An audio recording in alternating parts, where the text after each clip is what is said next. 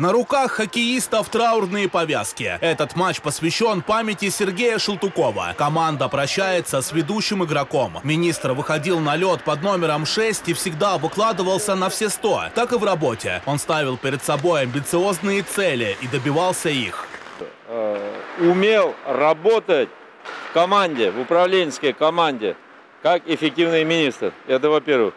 Во-вторых, он никогда в команде не создавал проблему всегда находил инструменты разрешения того или иного вопроса.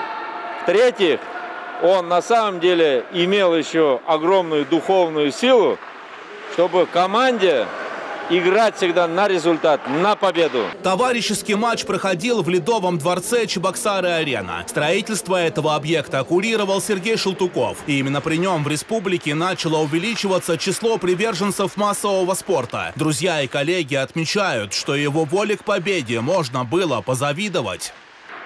Порядочный, э, как в жизни, так и на поле был игрок. Э, никогда не давал себе расслабиться. Очень на льду его не хватает. Наверное, в команде правительства он показывал такие же качества. Конечно. В память о Сергее Шелтукове в республике планируют проводить турнир по тяжелой атлетике. Этим видом спорта он занимался в молодости. Победу в товарищеском матче одержали члены правительства, команда, за которую он играл многие годы. Дмитрий Ковалев и Александр Петров. Республика.